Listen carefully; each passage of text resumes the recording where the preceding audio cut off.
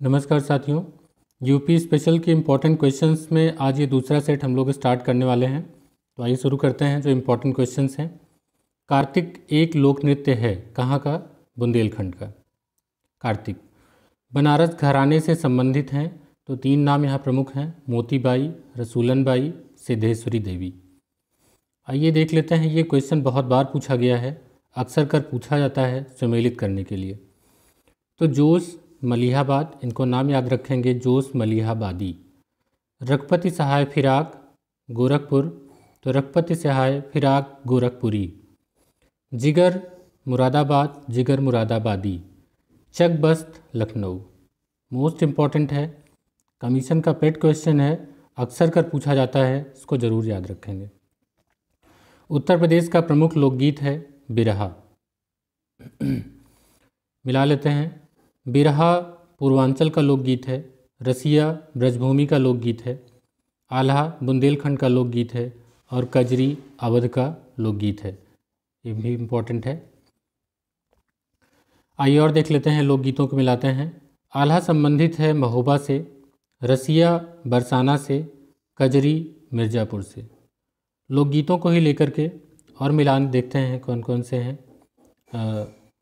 जो देवा स्थल है वो है बाराबंकी में। आला महोबा से संबंधित है और कजरी जो है वो मिर्ज़ापुर का लोकगीत है। उत्तर प्रदेश में राष्ट्रीय कथक संस्थान स्थित है कहाँ पर? लखनऊ में। मोतीलाल नेहरू बाल संग्रहालय स्थित है लखनऊ में। मौलाना मोहम्मद अली जौहर विश्वविद्यालय के नाम से एक अल्पसंख्यक शिक्षा संस्थान की स्थापना की गई है रामपुर में। उत्तर प्रदेश में जैन, बौद्ध दोनों का प्रसिद्ध तीर्थस्थल है कौसाम्बी ये कई बार कई एग्ज़ाम में क्वेश्चन पुटअप किया गया है। भारत कला भवन संग्रहालय अवस्थित है वाराणसी में, भारत कला भवन। 2011 की जनगणना के अनुसार उत्तर प्रदेश में महिला पुरुष की संख्या का अनुपात था सेक्स रेशियो 912 प्रति हज़ार।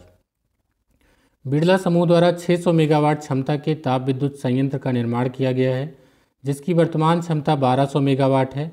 अब यह रिलायंस पावर के स्वामित्व में है तो ये रोजा प्लांट से संबंधित तथ्य है। विद्युत संयंत्रों में से गैस आधारित कौन सा है? तो देखिए, यूपी में जो है वो औरैया और दादरी जो हैं, वो गैस आधारित विद्युत संयंत्र हैं। उत्तर प्रदेश में जो प्रमुखता से खनिज पाए जाते हैं तो लाइम स्टोन और डोलोमाइट। आइए मिलान कर लेते हैं।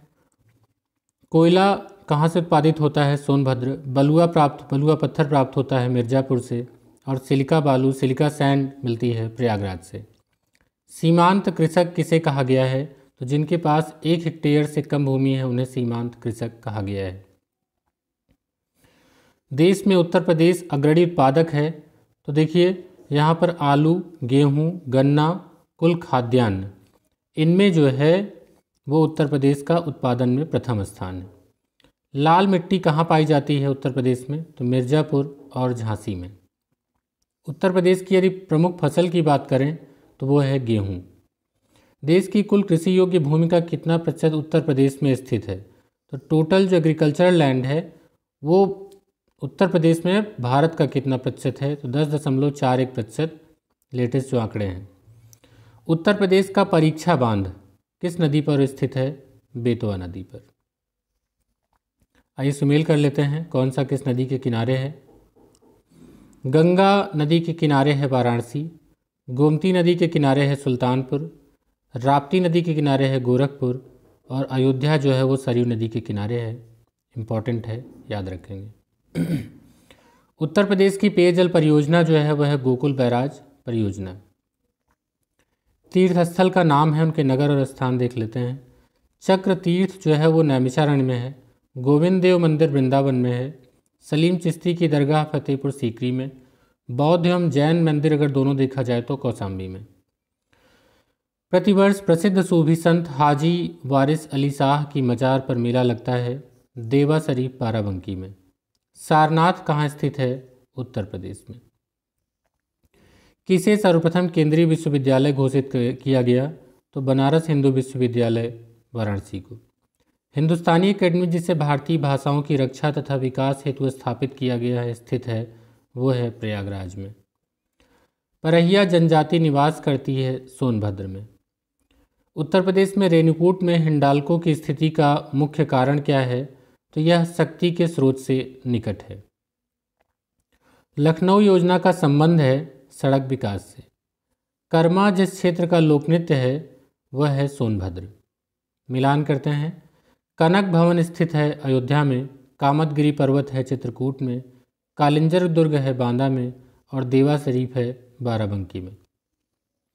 सैयद सालार मेला आयोजित होता है बहराइच में, जो पारंपरिक मेलों में लगता है पशु मेला, वो बटेश्वर से संबंधित है ध्रुपद मेला वाराणसी से संबंधित है, गोविंद साहब मेला अंबेडकर नगर से संबंधित है, माघ मेला प्रयागराज से संबंधित है, झूला मेला वृंदावन से संबंधित है।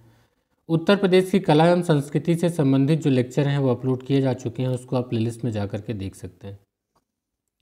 देवा मेला, बाराबंकी से संबंधित है। उत्तर प्रदेश की सर्वाधिक लंबी नहर है, शारदा नहर।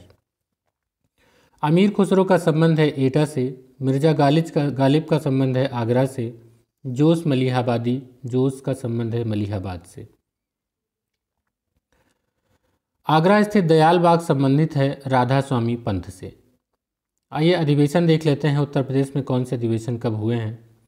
तो अगर प्रयागराज की बात करें तो अठारह सौ अट्ठासी में, अठारह सौ बानवे में 1910 में।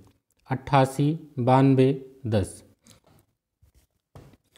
वाराणसी में 1905 में हुआ।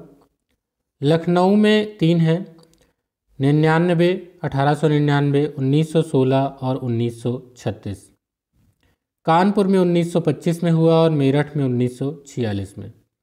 तो इतिहास में अधिवेशन का एक इंपॉर्टेंट चैप्टर है।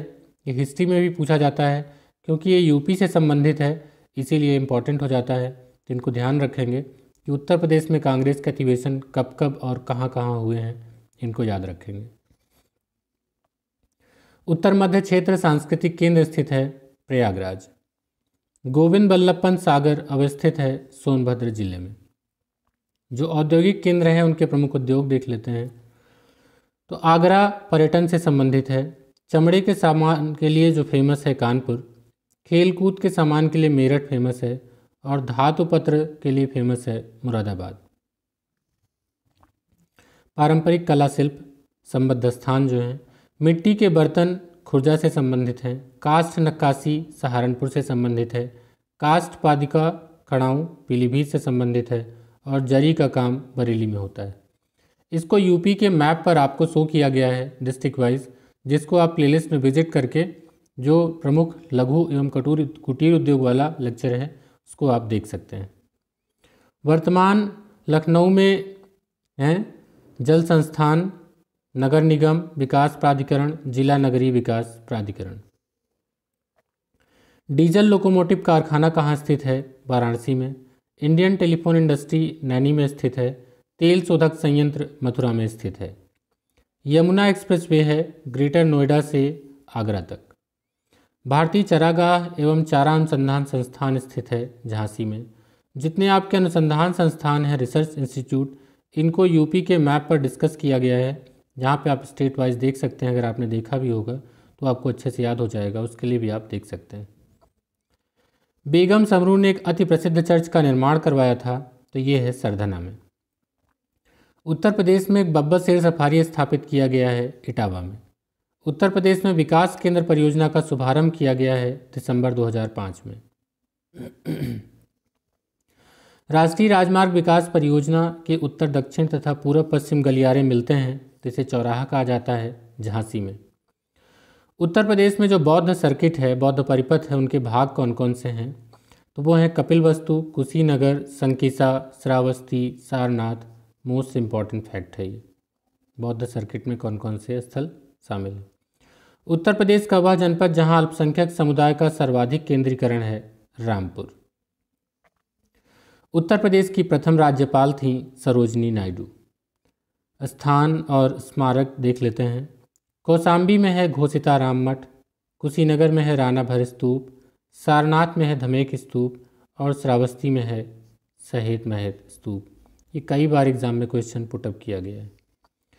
2011 की जनगणना के अंतिम आंकड़ों के आधार पर उत्तर प्रदेश के किस ज़िले में साक्षरता दर उच्चतम है? गौतम बुद्ध नगर। सरदार वल्लभ भाई पटेल कृषि विश्वविद्यालय स्थित है मेरठ में। आइए हवाई अड्डों का मिलान कर लेते हैं। लखनऊ का हवाई अड्डा अमौसी के नाम से विख्यात है। वाराणसी बाबतपुर में, कानपुर, चकेरी और आगरा का खेरिया। ये भी क्वेश्चन कई बार पूछा गया है। उत्तर प्रदेश का राजकीय पक्षी है सारस। उत्तर प्रदेश का राजकीय पक्षी है सारस। जो सुमेलित हैं, उनको देख लेते हैं। वृंदावन मंदिर मथुरा में है। जेके मंदिर, जेके टेंपल कानपुर में है। विश्वनाथ मंदिर काशी विश्वनाथ वाराणसी में है। देवी पाटन मंदिर तुलसीपुर में है। और इसके साथ ही जो फरुखाबाद जाना जाता है, वो हाथ की छपाई के लिए जाना जाता है।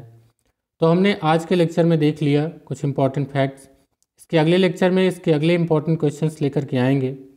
बहुत ही इंपॉर्टेंट हैं। ये क्वेश्चंस का कलेक्शन है, जहाँ से आपके एग्ज़ाम्स पुटअप जो क्वेश्चन है, वो एग्ज़ाम में पुटअप किए जाते हैं। वीडियो पसंद आया हो तो लाइक करिएगा। अपने दोस्तों के साथ शेयर करिए। मिलते हैं अगले वीडियो में। इसका अगला पार्ट लेकर। तब तक के लिए गुड बाय